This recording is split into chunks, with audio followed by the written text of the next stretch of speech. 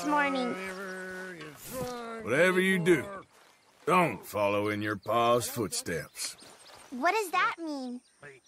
Do something with your life, Jack. You are mean. Go away! You'll thank me one day, kid.